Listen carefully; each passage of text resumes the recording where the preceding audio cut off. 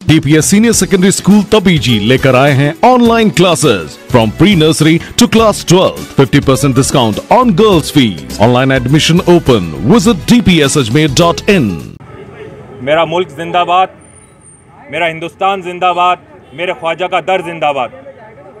जिस तरीके से अमीश देवगन ने कल ख्वाजा गरीब नवाज़ के लिए जो गलत बात, जो अनर्गल टिप्पणी की है, आम जन में, आवाम में बहुत रोष है।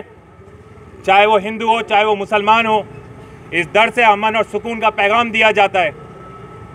आज जब ये मीडिया चैनल कुछ इस तरीके से दलाली कर रहे हैं, हम उनके सख्त विरोध में हैं। साथ साथ हम सल्यूट करते हैं। उन पत्रकारों को, जिन्होंने आज तक भारत के चौथे स्तंभ को मज़बूत रखा है।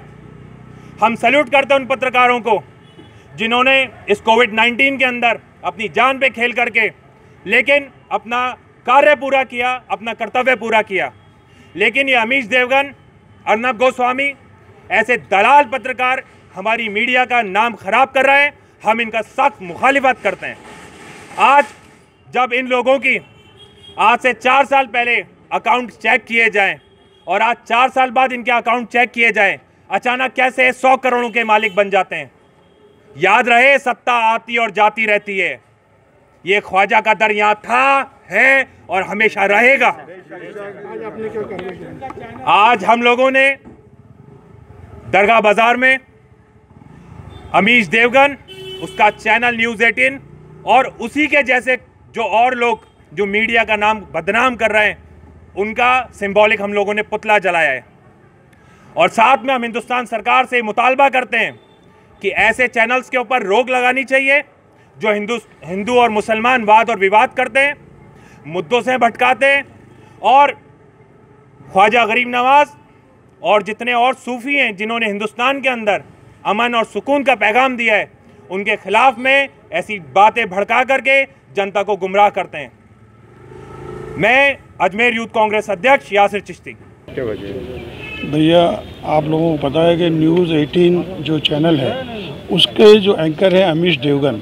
अमीश देवगन ने 16 तारीख को सुप्रसिद्ध दरगाह हज़रत ख्वाजा मोहुद्दीन चिश्ती रहमत के बारे में अलंगन बयान दिया है। उनको ऐसे वर्डों से इस्तेमाल उनका नाम लिया है जो मैं अपने मुँह से लेना उचित भी नहीं समझता हूँ।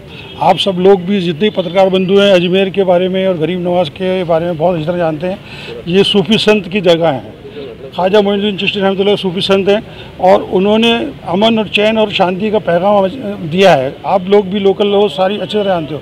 यहाँ हिंदू, मुस्लिम, सिख ईसाई सभी धर्म के लोग आते हैं। उस व्यक्ति ने ऐसा स्टेटमेंट दिया है बार, उस डिबेट के अंदर बार बार उस नाम का उल्लेख किया है कि वो नाम मैं अपने मुँह से लेना नहीं चाहता, जिससे लोगों की भावनाएँ आहत हुई हैं।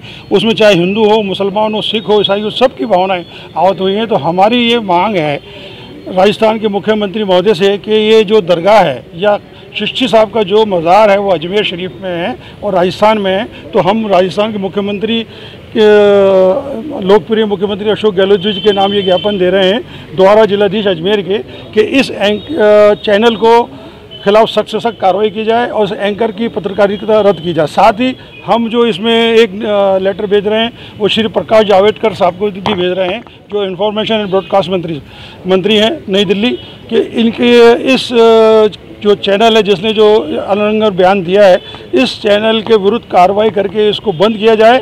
उसके साथ के साथ ही इस एंकर अमीश देवगन के खिलाफ भी सख्त से सख्त कार्रवाई की जाए, ताकि आइंदा कोई भी ऐसे सूफी संत हज़रत ख्वाजा मोहुद्दीन चिश्ती के खिलाफ ऐसे अलंगन बयानबाजी न करे और द्वेषता न फैलाए उसने हर प्रकार का प्रयास किया है कि हिंदू मुसलमानों की द्वेषता फैले और उससे देश की अमन शांति बिगड़े। तो इसके खिलाफ रासू का तहत कार्यवाही की जाए ये भी हमने मांग की है। मैं मोहम्मद महमूद खान पूर्व अध्यक्ष अजमेर जिला कांग्रेस आई देहात।